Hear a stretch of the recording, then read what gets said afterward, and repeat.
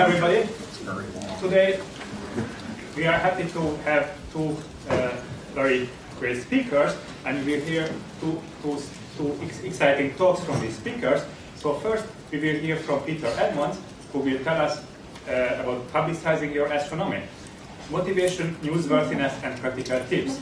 Second, we will hear from Robin Barnard, and he will tell us about an extended corona in the black hole Wolf-Rayet binary in IC10. Uh, and he will also tell us about the implication for ULXs. So, Peter, please. So I'm talking about publicizing astronomy, and my experience, as many of you know, has been in publicizing Chandra astronomy over like last 12 years.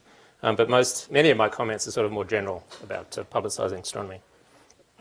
So here's a, just a, a, brief outline of what I'll talk about uh, today. I'll talk a little bit about what our group does. Um, then I'll talk about why publicity is valuable. I'll, I'll just sort of assert that, and then uh, explain why. Um, I'll talk a bit about what makes up a newsworthy result. Why is it, you know, why is it worth publicizing a result? And then I'll give a few tips um, on how you, as astronomers, can help out with publicity. So here's the uh, Chandra Education and Public and Communications uh, group. It used to be called Chandra Education and Public Outreach. The name has changed, but the people are mostly the same. Um, I mean, this I could talk in detail about the people um, on this. I mean, it's just oozing in talent. There's, there's uh, you know, a lot of experience, a lot of uh, you know, achievements and accomplishment by people in this group doing various things, working on images. You know, Joe does a terrific job with that. Um, Kim is a, is a, great graphic designer and web, web designer. Megan is a great writer. Wallace gives great uh, advice about releases. Mel does great illustrations. So I want to also give, um, you know, I could talk about this for a while, but I want to get on to the other stuff. Um, I want to give special thanks to Harvey and also Belinda as directors for the support that they've given to doing um, publicity. And also to people at Marshall Space Flight Center and also NASA for the support they've given. So I've got a, um, in terms of what we do, I've got a, a brief explanation here, list of the uh, sorts of main releases that we do. Um, so we do the sort of lowest level image releases where it's an image, obviously, and a, a detailed caption. And then at a somewhat higher level, we do a press release where it's you know, more, more science. We have quotes from the authors. Um, then we have two levels of NASA press conference. We have a media telecon, which is a phone-in press conference, and then we have um, an, a TV press conference. And we've done you know, releases at all these different levels over the years. So all of these include an image, and sometimes they include an illustration. Um, and we, for press releases, we invite blog posts from the first author, usually, to uh, give more details about the science. Um, just in terms of the, the standards that we have for the paper that we do publicity on, we require it to be peer-reviewed and accepted. That's a NASA requirement. I think it's a smart one. Um, you know, peer review is not perfect, but it is a filter that you can go, go through. It's an, a check of the result. And uh, for releases, we have the authors do the review. We have people at CXC, including Harvey and Belinda, um, and also people at Marshall do a review, and also NASA headquarters. So we, in fact, have many more reviewers of the press release than there are, there are of the, the paper. Um, and that's whether it's a science or a nature paper where there are more reviewers. So that's, that's something to boast about, I guess. So I'll just briefly talk about the challenges of doing a good press release. It's actually surprisingly, deceptively challenging to do one because you're trying to be accurate, trying to be concise, you're trying to be interesting all at the same time, and also unambiguous. Now, it's easy to be accurate, but not interesting. You could say that's what science papers are like. Um, you could say, you could certainly be interesting at the expense of being accurate, and that's what exaggeration is, or you know, hyping is, is, all about. Um, so it's hard to be all of those things at once. And just in terms of being unambiguous, here's an example. This is not from a release, but just from a, a statement on our website that is an ambiguous statement. Um, that somebody pointed out to us in some sort of a review. It's, it's tricky, so it's good to have independent review because you can miss things like this. So I contrast those priorities for a press release with those for a science paper where you can argue that accuracy is the thing that's really emphasized and then other things like being concise and interesting are sort of at, at lower level. Can, it's, it's easier to be unambiguous because you use a lot of jargon. So I'll talk just for a little while about why publicity is valuable. So I'm starting off here with a couple of reasons that are sort of selfish reasons. Um, so one is that it can enhance your name recognition. If you get in a release that gets um, widely publicized, publicized around the country, then you know, it can spread your name around a lot, and then other astronomers, for example, can see it, and they could be potential employers. Uh, they might be potential supporters of in a time assignment committee, for example. So that's important. Um, it, it, may also increase the numbers of citations for the science paper, um, and that's, that's actually a tricky thing to, to, prove, but there's some evidence for it. So that led me, in preparing for this talk, to think um, about how our most successful uh, stories have done in terms of press coverage, how they've done in terms of science impact, how many citations have they received. So this is a list here of the eight, what I think are the most successful um, press releases that we've done. They're all press conferences. And so I could ask you to, I think there's enough information here to, to, to, see what the result was about. You can scan down the list and I can ask people to volunteer which was the most cited of these um, papers. Any guesses? So the bullet cluster. Yeah, the bullet cluster was the most, most cited. Um, so I've done just a list here of the numbers of citations here on the right and then the, the ranking within that journal issue that the paper was in in terms of number of citations. So the cluster got 691 citations. It was the, the most highly ranked paper in the issue in which it was published. So you can see, you I'd like to, so you can see cosmology did really well. There's the bullet cluster with dark matter, then there's two dark energy results right at the top. And I'd like to think that um, at least some of those citations came from people seeing our press coverage. You know, I can't really prove that. All I'd have to do is to get in a time machine, go back in time, not do releases for these um, papers, and then see what citations they get. That's obviously a, a challenge. But all of these were 2009 earlier. That's, that's five, six years ago. Uh, correct. Is there nothing interesting in that? Yeah, that, that's the, the yeah, yeah, that's that. We haven't done a press conference since 2012 and that one was didn't get as, as good press coverage. Um, we did one in 2011. That one didn't get as good press coverage. So there has been a fall off in the number of great, you know, high level results. Um, and, and I consider since 2012 the only result that I was tempted to do a press conference for was the Esra Bulbul result the, on the possible line. And since then there's been a lot of controversy about that result. So I would I would say that that was maybe a, a good move that we didn't do a press conference for that. But there has been a fall off in the really strong results. Peter, those citations are citations in the literature or uh, uses in the popular media? So those, the, the, these are citations by people in lit literature. So it's from the ADS.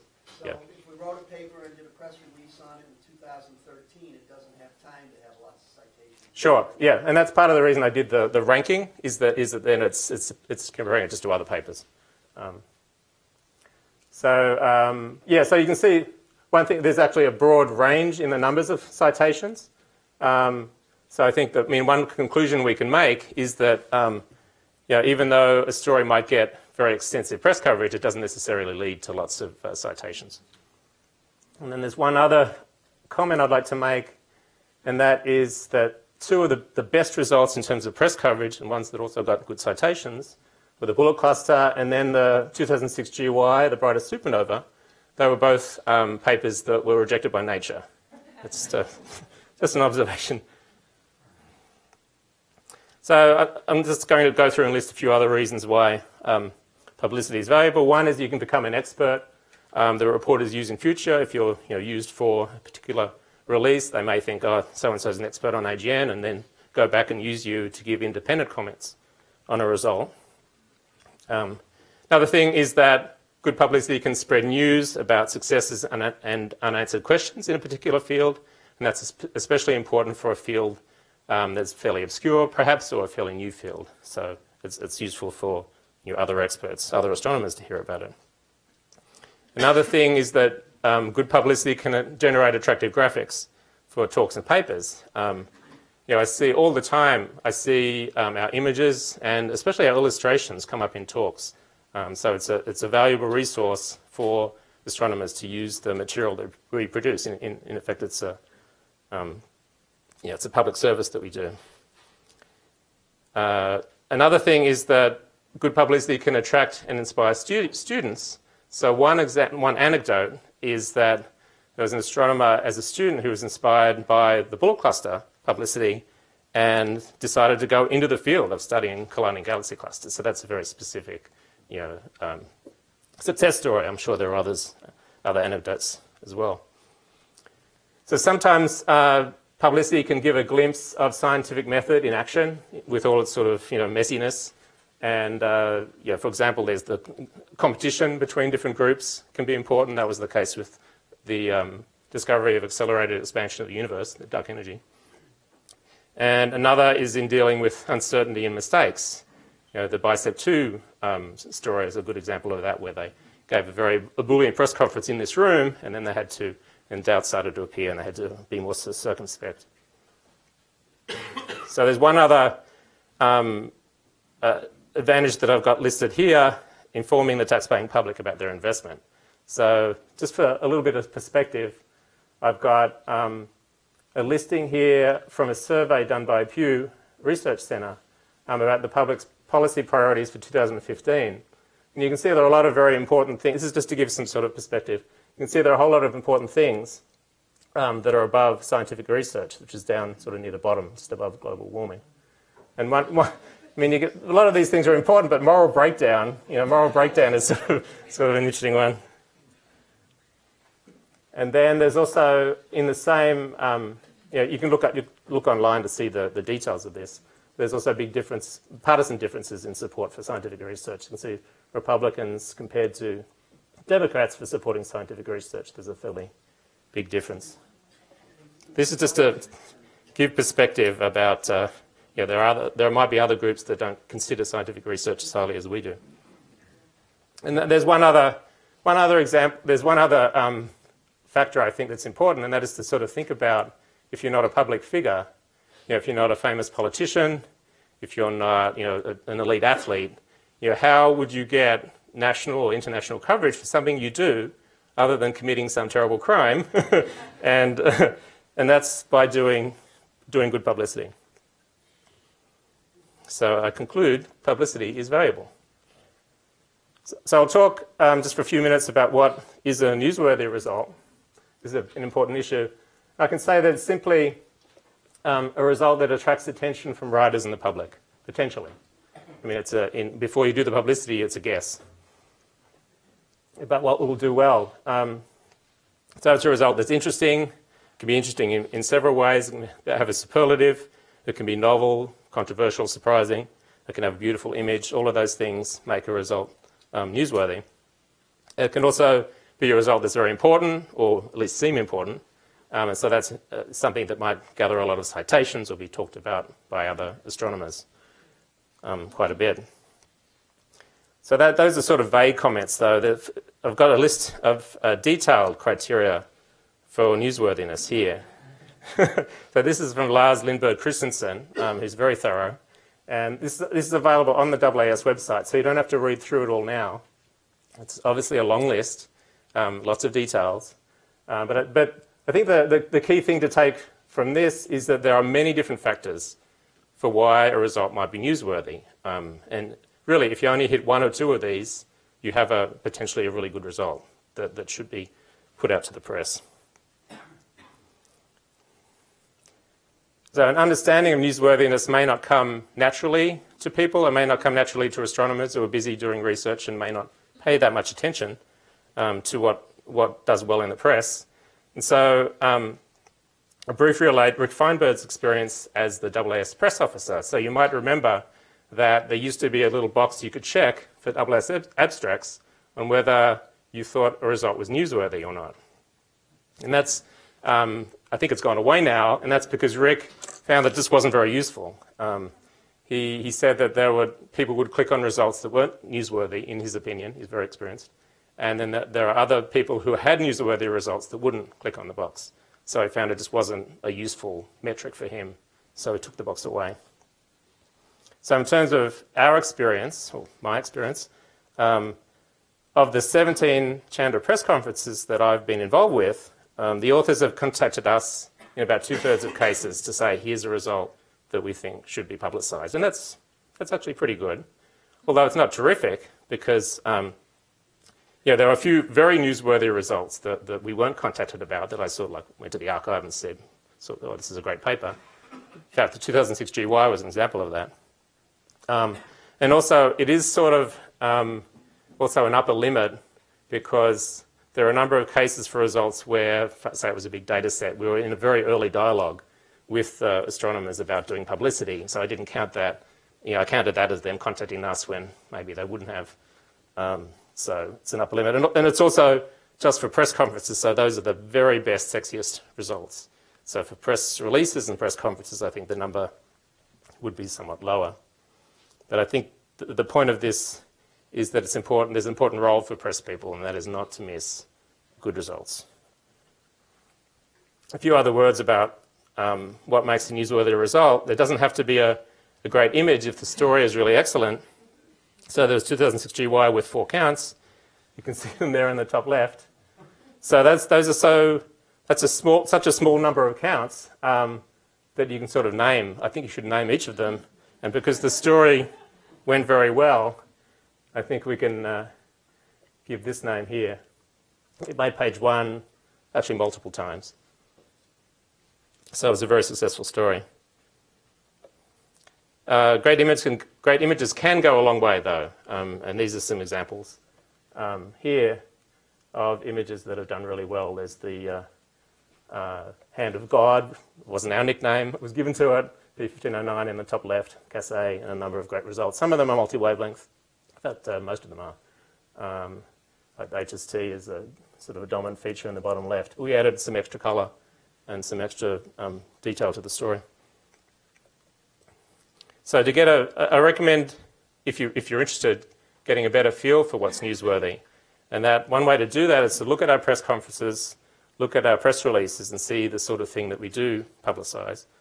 And another thing you can do is look at Google News um, science section once or a few times a week and see what sort of things are covered there. So I've just got a little screen capture of um, Google News from, I think, last week you can see, I mean, we're competing with vampire squids with unique reproductive strategy. That was the number one news, news story at, at, some stage last week. But, but second is merging black holes, and then there's large destruction universe and a Hubble story. So really, astronomy does very well. It punches, you know, above its weight, I think. Um, but there's one thing to note, if you really dig into these stories, you'll see that much of astronomy news is driven by releases. And there's there's a whole discussion you can have about whether that's, you know, a, bad thing or a terrible thing, because that means that publicity, you know, publicity is driving um, press coverage maybe more than it should. You don't have as much independent reporting. But that's partly because science sections have got smaller or gone away and there are fewer reporters. Um, in effect, we're doing some of the reporting ourselves. And uh, you know, we have our own biases, but you could say so do reporters. So um, yeah, I think the bottom line is that if, if you know, our group and other groups like Hubble's and ESA's and others stop doing publicity, then there'll be much less coverage of astronomy in, in the news. And that would be a bad thing for the field. So I'm just going to talk um, in the last section about tips um, and sort of advice on helping with publicity. So I think the most important one is to write novel, interesting, and important papers. So like question, any questions? um, and that's, yeah, it's easier said than done. Um, but also important is that if you think you've got a newsworthy paper, you should send it to press people with submission. Um, and that includes nature and science papers. Sometimes authors think you know, they're scared by all the embargo rules that they get from nature and science and they don't share, want to share the papers with anybody. Um, and that's, that's simply wrong. I mean, you can, you can certainly share the papers with us. You can put them on the archive in most cases as well, certainly for nature, you know, usually for science. So it just helps to have uh, more notice about results. Um, you should yeah, email uh, me and email Megan uh, Watzke, our press officer, um, if, you, if you think you have a good Chandra result. Now, it's, it's perfectly fine for a paper to be on the archive and still do publicity. That's something occasionally I hear people, astronomers, think that, that if it's on the archive, you can't do publicity. Um, in terms of timing, it's generally best between acceptance and publication. The exception there is for Nature and Science, where they want to do publicity when the paper is published. Um, but otherwise, um, we're sort of free to do it when we want. Um, successful publicity can sometimes be done well after publication. And there's a notable, noticeable, notable example is VV340, which is a Hubble Chandra composite image that we published. We publicized in August 2011, and the paper was published in June 2009. So that was a long, a long gap. It was a survey paper. It wasn't very interesting, really, scientifically. And it must have been just, you know, it was a quiet summer. and uh, because it got NBC National News um, with Brian Williams, it's not in the job anymore, um, uh, CNN, uh, you know, a lot of online coverage. It just did incredibly well and surprised all of us. So that was a, a nice little, uh, nice little counterexample to the general rule.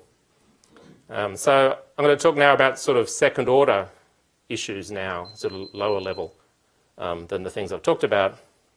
Uh, so one is that you can consider doing a sketch or an illustration, um, especially if, if, you're lacking a good image in your paper. And as an example of that is an, an illustration, a sketch that um, Bin Luo did in a paper that we're actually putting a release out on tomorrow. And that was just that's very helpful for us because we were able to take an illustration that was on our web page and then just modify it. This is the original. The modified version just um, has a few extra features. So that just made it easy for us when, when, you, when you have a sketch like that, it, just, it makes it more, makes it more likely that we will do an illustration. Um, another thing is to consider including some interesting features in your paper. So this is an example of El Gordo. So the, the proper name for the cluster is ACT CLJO102 minus 4915, which is really pretty boring, right? Um, but they nicknamed it El Gordo and they put it prominently in the paper. And so that was something that we could talk about in the release, and any skeptical you know, reporter could look at the paper and say, oh, yeah, they call it El Gordo as well. Um, so it's good credibility. Here's just a couple of um, examples of titles that I picked out from the archive that I thought were interesting. These aren't Chandra results, but just in the middle one, disintegrating rocky planet. That's, that's just the interesting word there. And this one down here, it's a little sort of dark, but autopsy of a kill and killer is also sort of a cool headline. Another point about the El Gordo paper is that they put the superlatives about the cluster right at the top of the abstract. it was very obvious. And again, that's something for a reporter who would go and to re read the paper could see that fairly easily. So that's a, that's a, that's a bonus from them. And getting back to that uh, very successful publicity we did for the 2006 GY, you can see that the title of their paper makes it very obvious um, how this is an exceptional object. Another thing is to consider writing a non-technical summary of your paper. That's something that actually a reasonable number of people do already, which is good. Um, you know, normally I can wade through the jargon in a paper, but it's helpful to have, have it written because it's easy to imagine how it would be done in a release. You have a non-technical summary. Now, the point is that if, if a result is significant for a reason or for reasons, you should explain it in detail in the paper. What I sometimes look at, I see an abstract, say on the archive, I read one sentence about the implications, I think that sounds really good. Then I look in the discussion section and it's one sentence in the discussion section, which to me is like frustrating because I want to see more details than, than just a, a brief thing. Another thing is if, if you think you have a superlative, put it in the paper. If you believe it, put it in the paper as the El Gordo people did. So be prepared to hear no and don't be discouraged. You know, it's nothing personal in most cases. um, yeah, don't be discouraged, you know, because uh, yeah, there's only so many um, so many releases that we can do each year. There's I don't know four or five hundred papers, Chandra papers per year, and we do something like um, 25 releases, including image and press releases. So that's only a, you know it's a few percent that we can publicize. We don't have time to do more. So if you do say yes, um, you should answer our questions promptly and review the text quickly but carefully. That's something that we have, yeah, we found that astronomers that we work with are, are very good at doing. Just, just the final part of the talk, I want to mention do-it-yourself publicity. There are other things you can do besides going through us, or you can go through us but not with press releases. One is to consider blogging about your work. We welcome guest blog posts at the Chandra blog. You know, I already told you about having blog posts for the, the authors of papers. Um, but you can do a blog post at any time, and we can advertise it on social media, and NASA might advertise it. They have several million followers on Twitter, for example. Um, you can look at John, Johnson, John Johnson's blog. He's, he's a, a person, Harvard astronomer here who blogs. Um, there's Astrobites, which is actually sort of more technical stuff. But there's several examples. I do some blogging myself.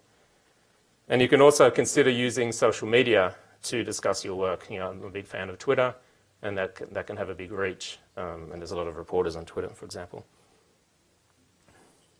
So just here's my summary. I won't go through all of these in detail, but I just wanted to emphasize one more time, write novel, interesting, important papers so we can get back to doing press conferences like Christine pointed out. We haven't done one for a while. And, uh, and tell us, or tell your press people, whoever, whichever observatory it is, about potentially newsworthy results um, at submission. That's it.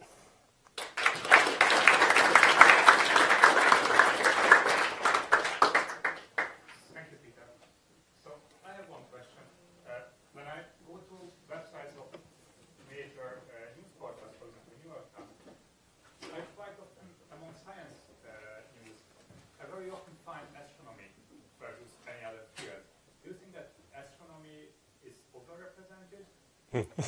Uh, if, uh, yeah, as an, more likely to pick, pick up astronomy. Yeah, I, I think I think in terms of if you went by the number of scientists, I think astronomy would be represented more than most other sciences, and I think it's you know that's another actually motivating factor is that is that astrophysics astronomy is really cool. There's there's black holes, there's you know invisible matter, there's expanding universe, there's so many cool exoplanets, there's so many cool things to talk about. So I think we, like I said, we punch above our above our weight.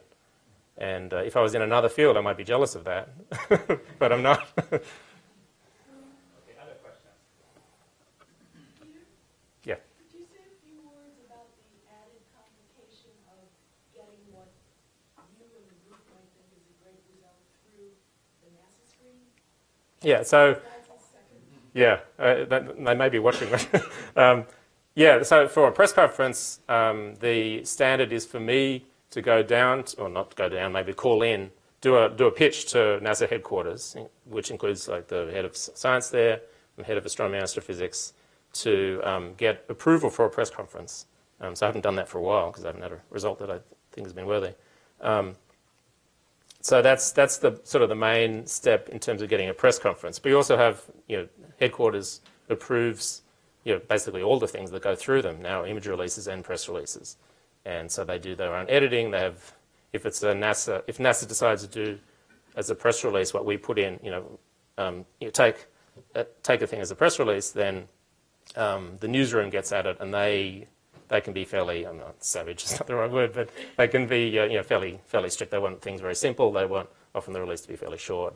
That's why blog posts are handy because then they, we can get the scientists to give like a giant quote basically in, in the blog post and include more science. Um, sometimes a particular result or a particular target has several papers written on it almost simultaneously. Mhm. So how do you choose um, that uh, topic? Uh, is it dependent upon one particular set of authors approaching you or more? And how do you actually balance out the, all the different results? Yeah, it's a, it's a challenge. We don't too often have that. Um, yeah, for, there was one case where we had a couple of, we occasionally do publicity for two papers when we hear about another result and they're, they're concurrent, like for the, turned out for Cas A, the, the compact object in Cas A, the neutron star, um, there were two groups working together. We don't have it as much as some groups that say do stuff with GRBs, for instance, where there's, there's you know, an object goes off and there's a rush. But we try to include, I mean, we'll try to include multiple um, results if we think they're all you know, of the same quality. Um, but it can be challenging then to uh, please different groups. With Swift, I've noticed that um, recently, press releases or even web releases can sometimes get as much coverage as a full press conference, uh, especially if it's timely or something like that. I Yeah. don't know if you have similar. Yeah, yeah, yeah, yeah. Um, that, that, that's true. I mean, we, we've certainly had. I mean, I, I, I listed there the eight most successful of the 17 Chandra press conferences. The, some of the less successful press conferences have got less publicity than the best press releases that we've done.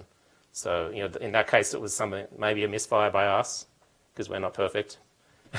um, but yeah, been, there's certainly been a few. And then, there, you know, there, there's certainly been some very successful press release. And that, that image release was a, was a big surprise because we, I mean, it was, there was really no science in the paper, uh, hardly, and uh, but the image was cool and it was maybe a fluke, but it, it did, did really well.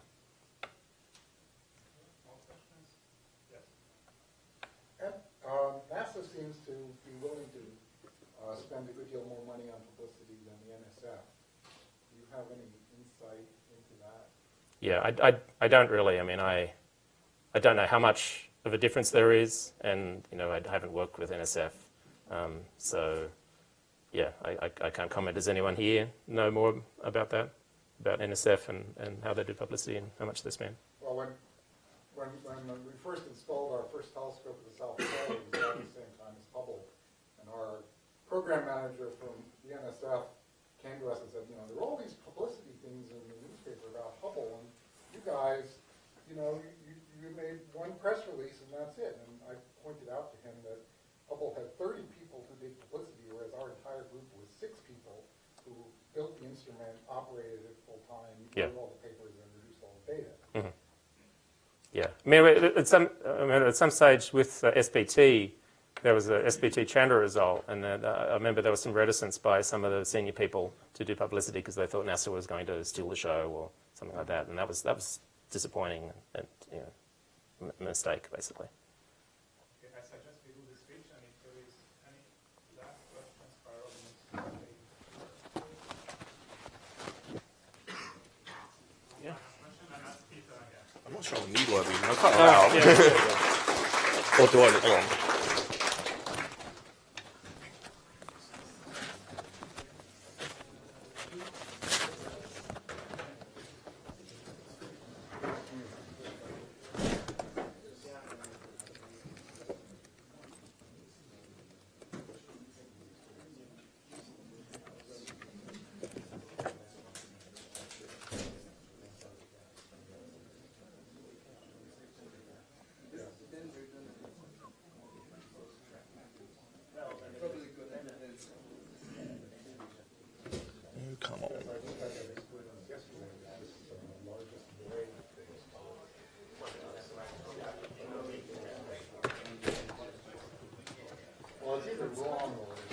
I was just. That's okay. It's just. It just took a while to warm up.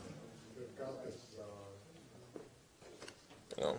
It's a slow computer. I didn't think it would power down.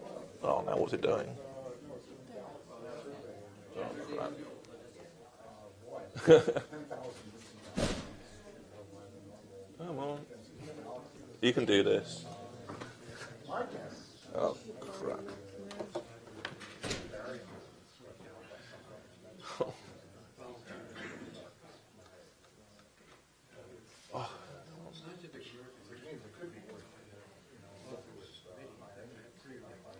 Oh, brilliant. Hang on. Hopefully Microsoft will decide to work.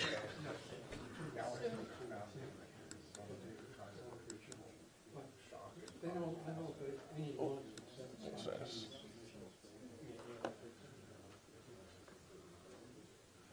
Yay! Right. So it decided to join us.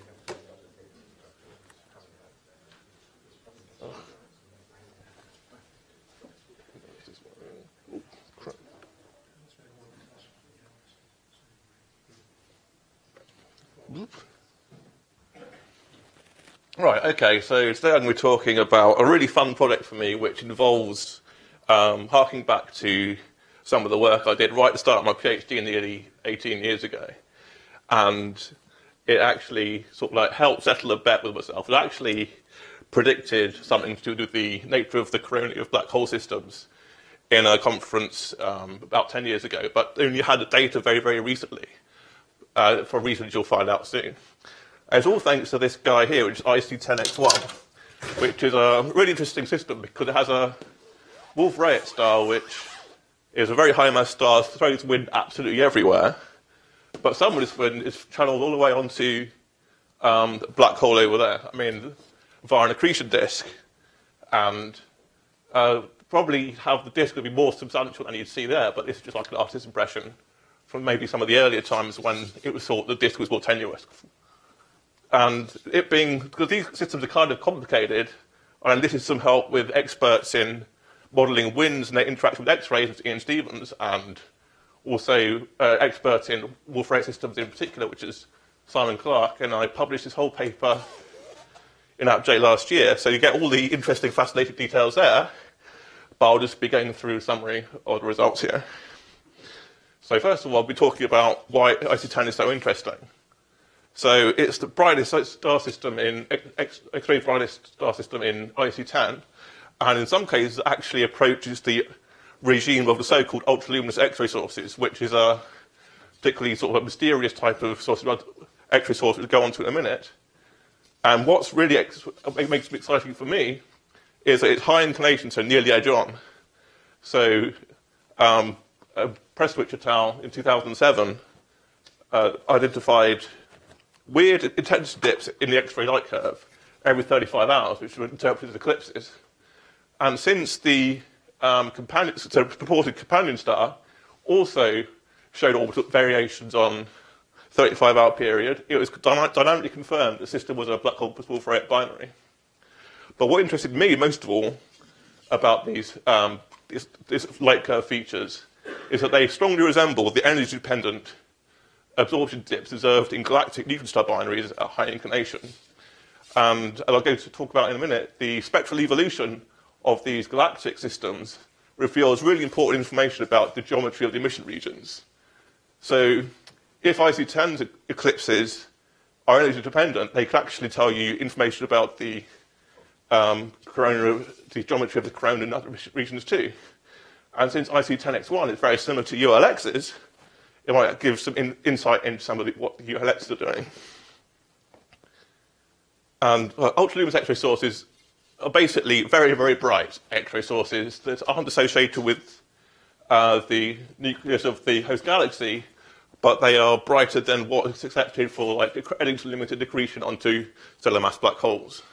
And since it's such a vague description, it can include various types of things. They can either be intermediate black holes, such as perhaps the best case was HLX1, or it could have beam emission, or it could be a new super, uh, super Eddington very luminous state, or it could be normal stellar mass black holes with extended corona, which is what I'm going for. And any of these could be true for some subset of these systems because it's just such a vague term. So now I go on to the background. So this is the kind of stuff I was doing all those years ago. So um, our own galaxy has 10 uh, low mass X-ray binary systems uh, observed. Oh, crap. Uh, probably. so I imagine. Oh, so I observe high inclination. So these are low mass stars which have evolved to fill their Roche lobe, and they funnel on to the neutron star with a much more substantial accretion disk, and this kind of thing is what I was uh, expecting IC10X1. And because they are high, high inclination, they see the X-ray light curves show these periodic um, intensity dips. But because this is photoelectric absorption during material in the outer disk, is actually, um, you can see the hardness ratio changes because the low energy photons are preferentially removed. And so if we do simultaneous fitting of the X-ray spectra at different parts of the dip, where the emission is the same but the absorber evolves, this can give you really important information about the, the nature of the emission regions. So what I found was that the, the thermal and non-thermal components, uh, with the thermal being, component being from uh, basically black body emission either from the neutron star surface itself or the boundary between the neutron star and the disk, and a non-thermal component being so in, inverse Comptonization of cool photons on hot electrons in the corona, it's found that, the, that these different emission components are absorbed at different rates, meaning that the regions were ge geometrically distinct. And since they were doing that, it's also true that it's not simply due to a, an absorber of increasing density covering both things, it must be different. So um, the, the, model used, was proposed, was like a progressive covering of an extended emitter by extended absorber. sort of demonstrated here. So you have this kind of flat planar ADC here, and material on the outer disk here, which gradually covers it.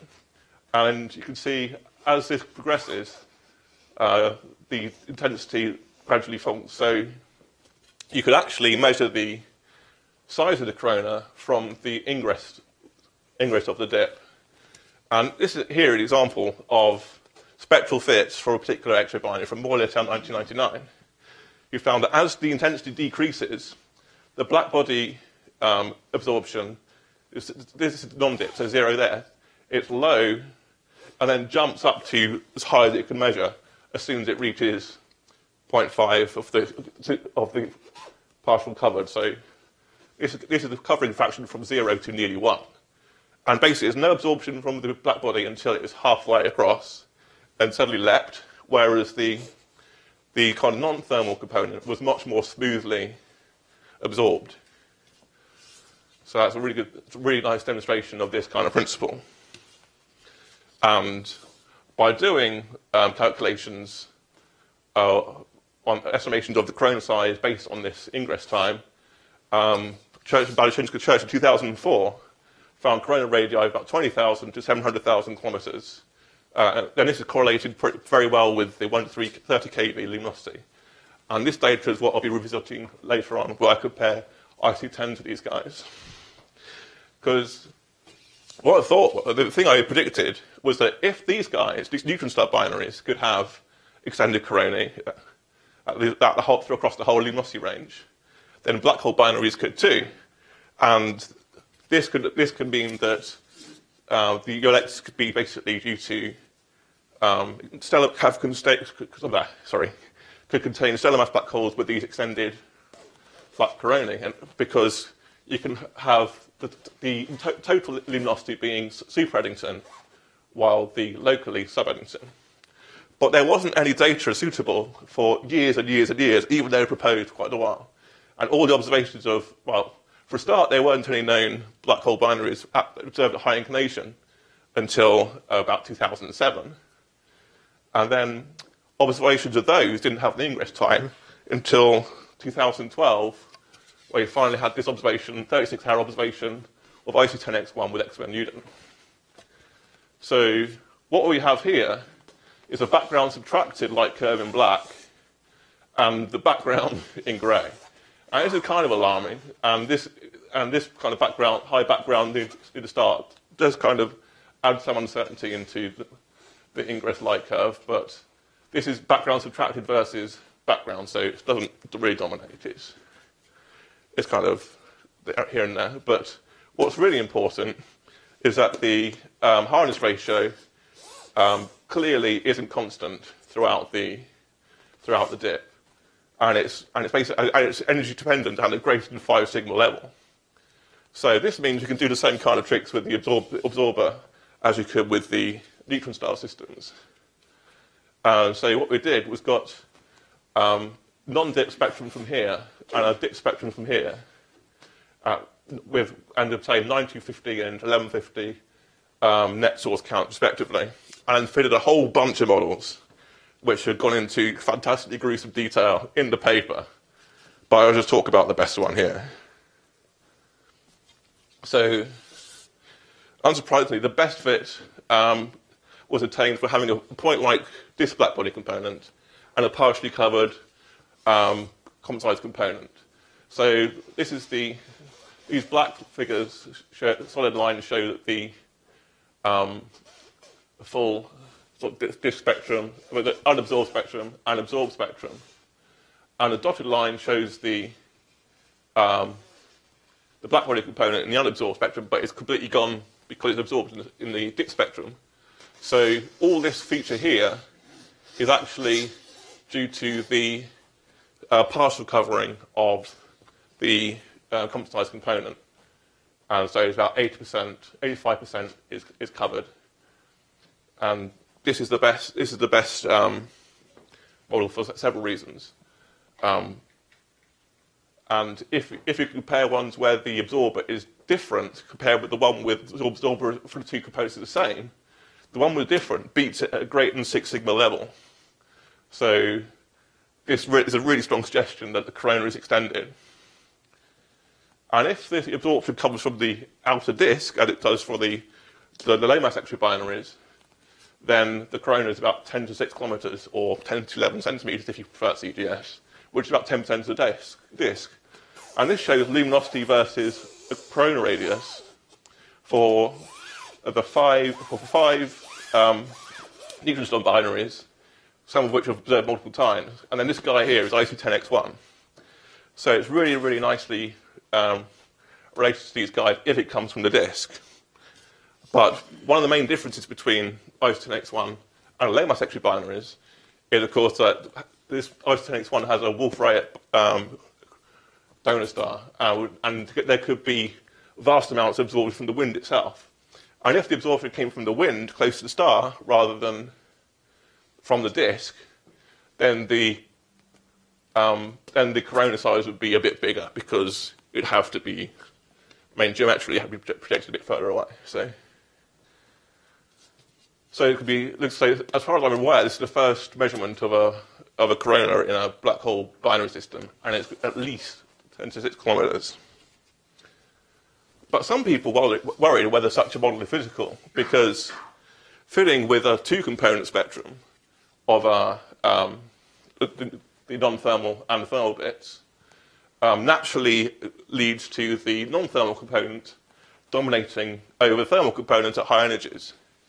And some people are so concerned about this that Steiner et al. in 2009 created a convolution model to describe Comptonization called SIMPLE. So, it, so in that case, the, um, the non-thermal component could not physically um, be, be larger than the thermal component because it is modeled in.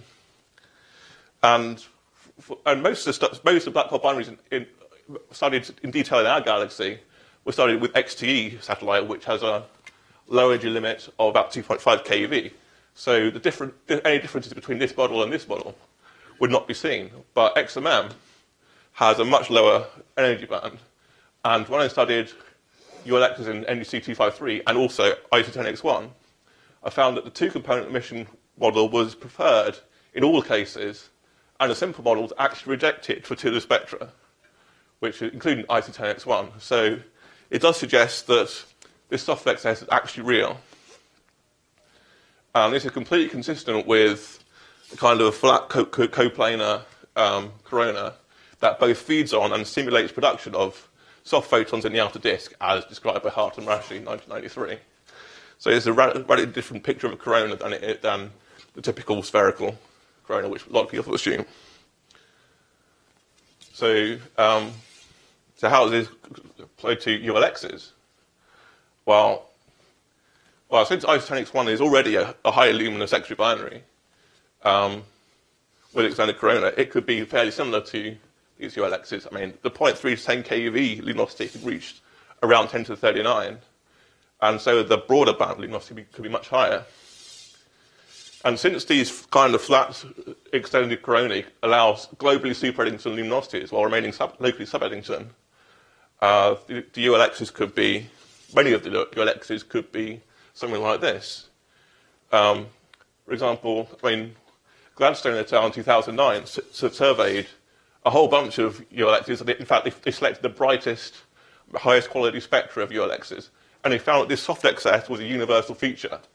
And this is shown, this example is shown, here. This is an extreme example where you have the thermal component here and the non-thermal component dominating over the entire energy range. And they said there must be another component. Um, and this is a rather extreme example. But this table here shows spectral fits of blackbody plus this, this blackbody plus power law fits to the ULXs. And a lot of these guys have very reasonable temperatures and uh, photon indices. Uh, so temperature around about 1, photon index around 2.4, 2.5-ish. And these are perfectly consistent with canonical black holes in like something like this, the very high state. And these guys could, be, could very well be just um, stellar mass black holes with, um, yeah, with extended coronae. But there are other guys with like temperatures about 0.2, 0.3, something like that. And these could either be uh, um, very massive black holes, or they could be in the ultraluminous state uh, proposed by Gladstone et al. 2009, where the corona is so so um, dense that you don't see the inner disk, and these kind of so the actual true disk temperature is actually high on these guys. So it could be a mix, but it looks like at least some of these guys could just be uh, what I proposed. So, so, so the main points are these. I mean, the intensity dips observed in X-ray light curves of IC10X1 are caused by photoelectric absorption rather than uh, energy independent absorption from the from the from the Wolf-Rayet directly, and it affects each component differently. Uh, that allows us to measure the, the corona to be more than 10, at least 10 to the 6 kilometers. And it is a, if, you, if it's um, associated with a disk, then it's entirely consistent with the, the 10 or so neutron star binaries, which at high inclination, which show this kind of, well, for, which the, for which the corona are measured. And is probably the first measurement of corona in a black hole binary. And since you have a uh, coplanar corona which is suggested by, by models, allows the soft excess seen in the ULXs um, to be basically just due to this extended corona. And so many of these ULXs could simply be stellar mass black holes with extended corona, so the luminosity is globally super Eddington, but locally sub Eddington. And that's your lot.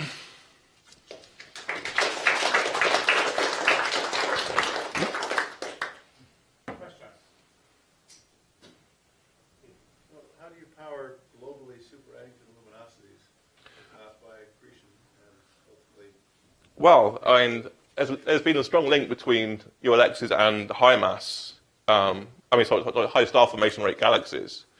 And um, I've talked to other people who are more theor theoretical, and they're talking about how many star systems go through a, a, pay, a stage of thermal timescale mass transfer, which is a very, very high accretion rate.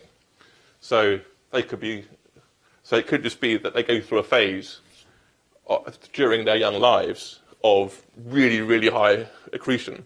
And because it's, because it's not blown out by a spherical corona, it can actually maintain that.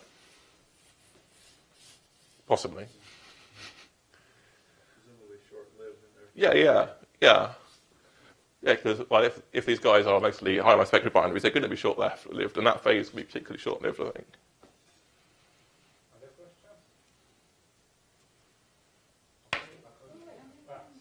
sorry.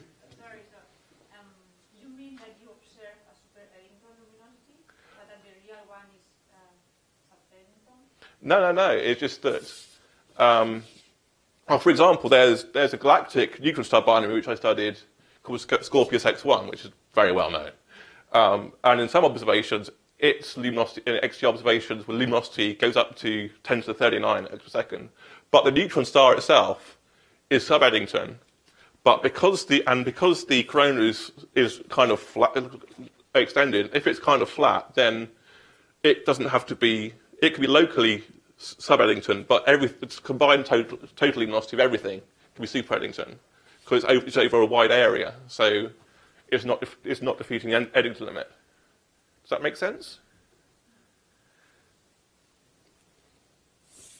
So if it's like a, a big absorb, if it's a big non-spherical emitter, it, do, it doesn't matter about the Eddington limit. You can, you can um, emit luminosities up to a factor of 10 or so more because no one place is super Eddington for that particular region, but the whole total is.